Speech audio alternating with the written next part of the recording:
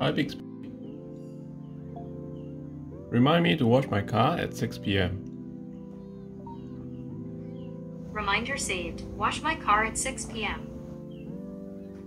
Samsung reminders have come a long way. Many years ago, Samsung Reminders was just too basic as a standalone app on the phone. It's a different story today. The reminders integrate with Bixby, Galaxy Watch, and the whole Samsung ecosystem is just brilliant. In this video, I'm going to show you how I use it to improve my productivity. Hi everyone, welcome to another Sky Perspective video. This is going to be a long video about Samsung reminders. Feel free to use the timestamp below to jump through different sections of this video, or just watch along, and I'll comprehensively cover how I use Samsung reminders.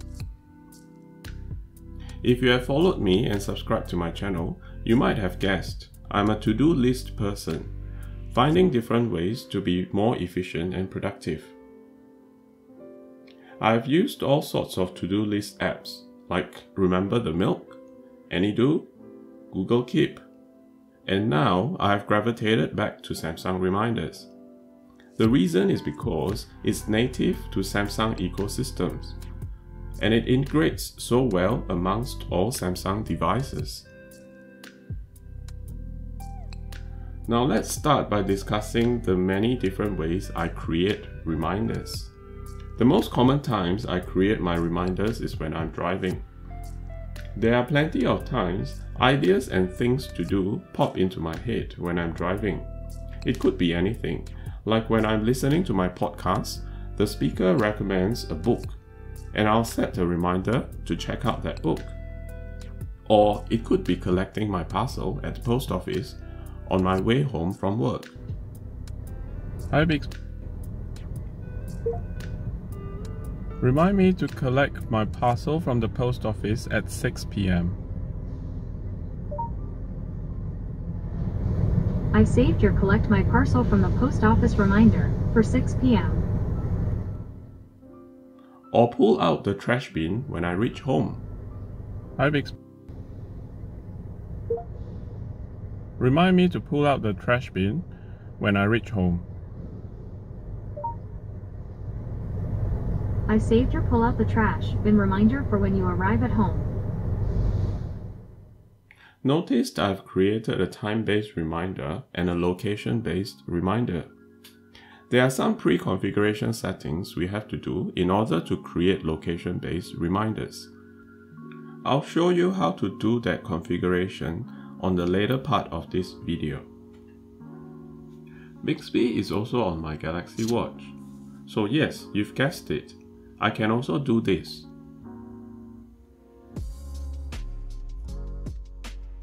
Remind me to pay my bill at 7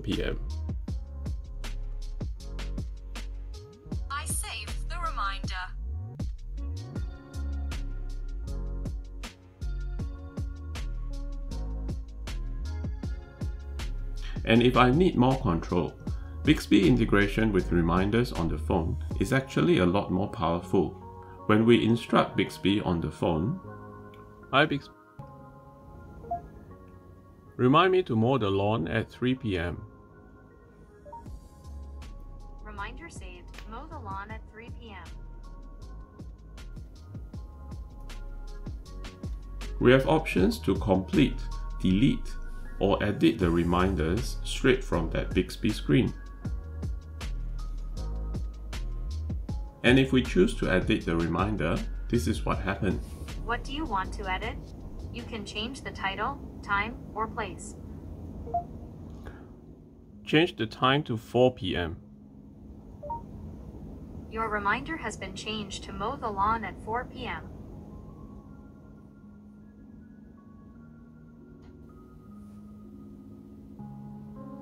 And if we choose to delete, this is what happens.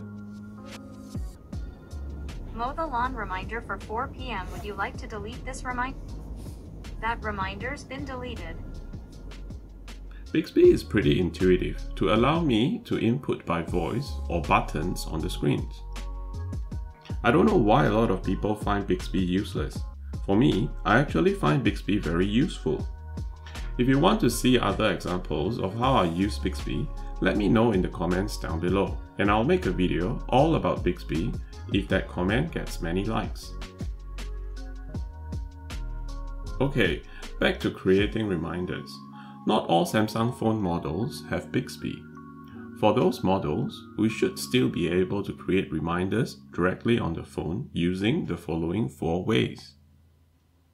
The first way is when I'm surfing a website or a web page, I want to be reminded to do something about that web page. I'll simply click share on the browser and share it to Samsung Reminder app. This reminder is then created as a web link, which we can reopen the link from the Reminder app itself.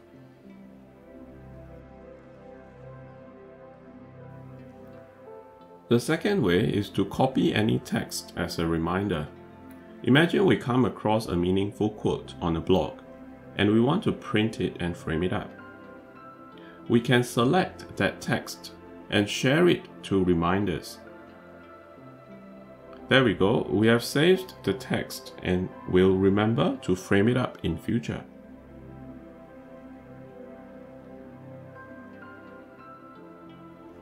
The third way is to be reminded about a Samsung Note. For example, when we jot down Adam's phone number on Samsung Note, be it using a stylus on Galaxy Note or typing it on a normal Galaxy phone, Samsung Note has this add to reminder to turn this note into a reminder.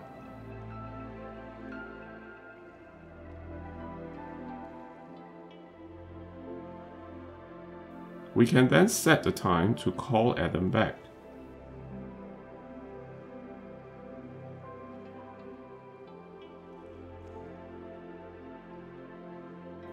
From the Reminder app, we can also jump directly to the note, which contains the invoice number details and so on.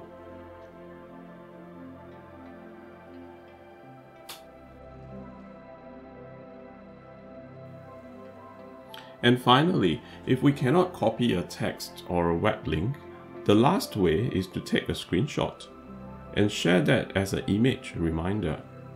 We can also use the camera to take a photo and save it as a image reminder too.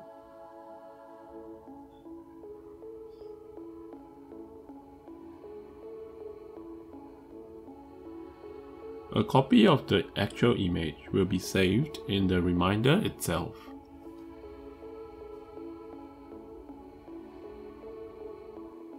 Hey everyone, if you like the tips in this video and how to use technology to be more productive, do subscribe to my channel now. On my channel, I showcase my personal tech gear and share tips on how to use my devices to be more efficient.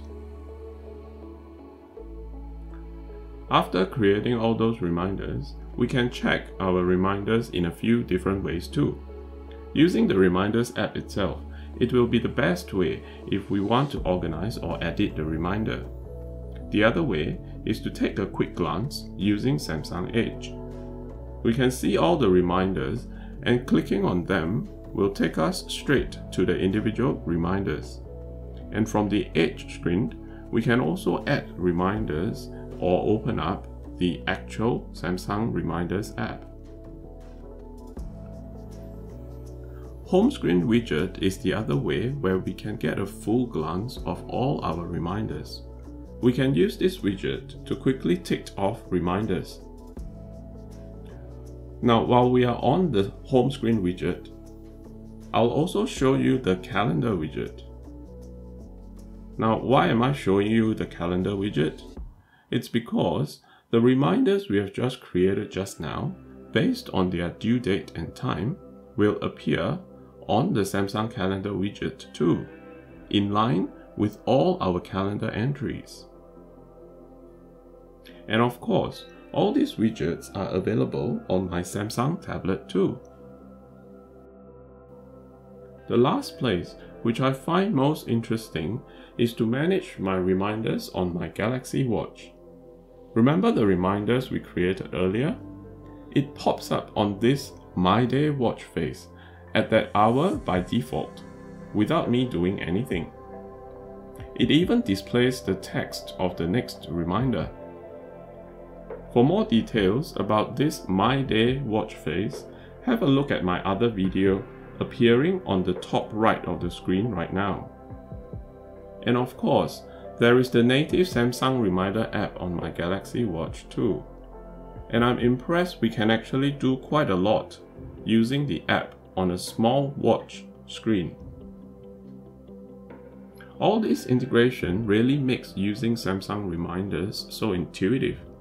It's like I don't even need to think about it. Sometimes I create a reminder using Bixby, get notified on my watch, mark it as complete, all using my watch without even opening my reminders app on my phone. Samsung has really done a great job integrating their Samsung reminders and Samsung Notes with their whole ecosystem. They have integrated with Microsoft services like Microsoft To Do as well, which I haven't had time to explore them.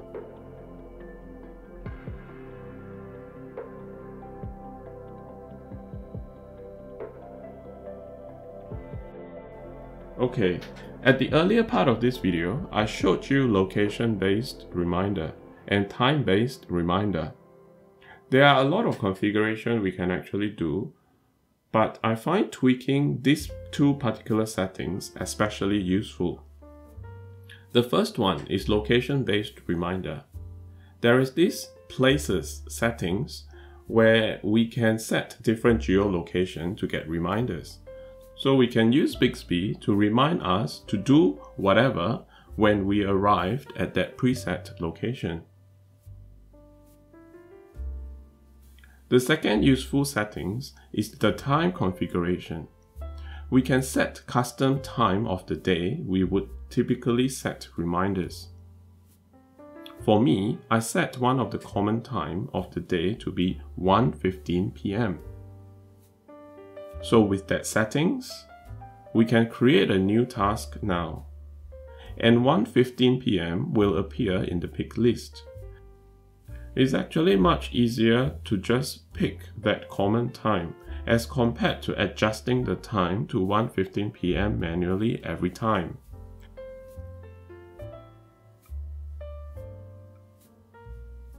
By the way, 1.15 pm is usually the time after my lunch where I check my reminders to see if there is anything I can do on my to-do list.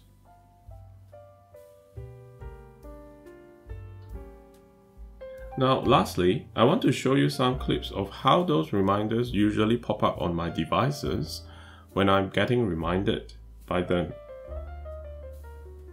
Depending on how dramatic you want to be alerted for that reminder, you can set three levels.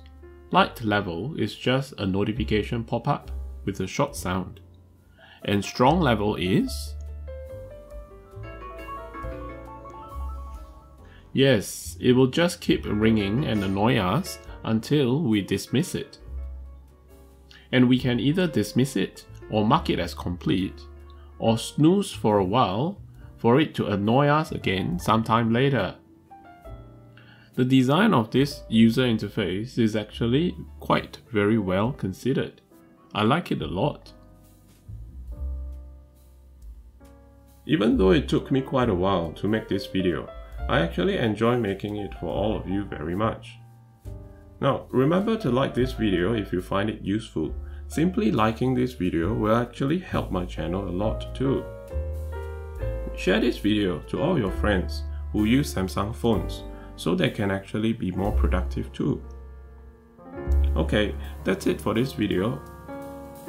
Thanks for watching and I'll see you in the next one.